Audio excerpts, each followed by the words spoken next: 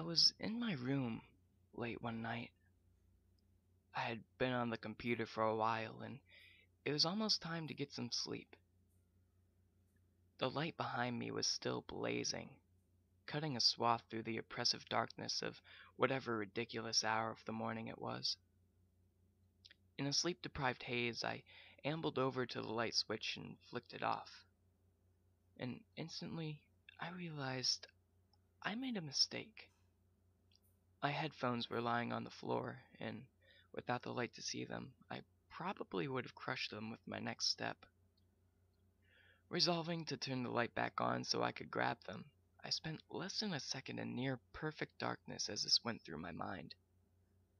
Then I turned the light back on. I wasn't in my room anymore. It was almost as if fifty years of disrepair had ravaged my once loved living space.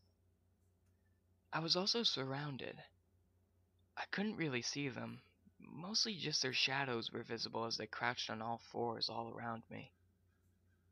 The only features I could make out were hundreds of mouths with jagged, grinning teeth, and a set of glowing red eyes to go with each twisted smile. I almost had time to scream almost.